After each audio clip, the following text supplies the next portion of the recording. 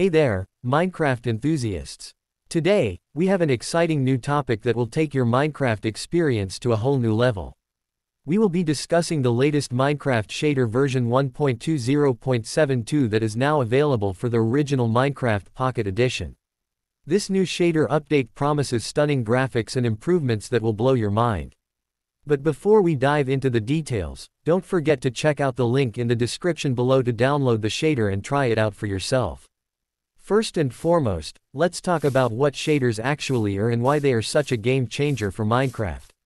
Shaders are essentially mods that can be added to the game to enhance the graphics and visual effects. They can completely transform the way Minecraft looks, adding realistic lighting, shadows, reflections, and more.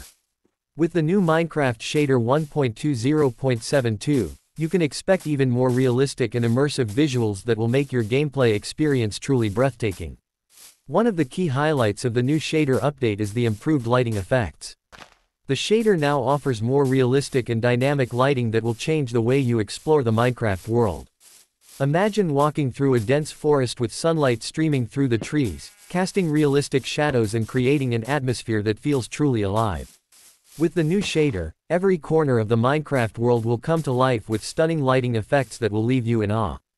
In addition to the improved lighting effects, the new shader also brings enhancements to the water graphics in Minecraft. Water has always been a challenging element to render in games, but with the shader 1.20.72 update, water in Minecraft will look more realistic and dynamic than ever before. From shimmering waves to realistic reflections, the water in Minecraft will now look and feel more lifelike, adding a whole new level of immersion to your gameplay experience.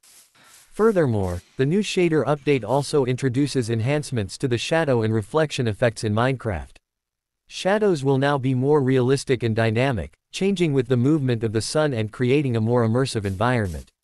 Additionally, reflections on surfaces like water and glass will now be more accurate and lifelike, adding to the overall visual fidelity of the game but it's not just about the graphics, the new shader update also includes optimizations and performance improvements that will ensure a smoother gameplay experience. With better optimization, you can expect improved frame rates and overall performance, even on lower-end devices. This means that you can enjoy the stunning visuals of the new shader without sacrificing the smoothness of your gameplay.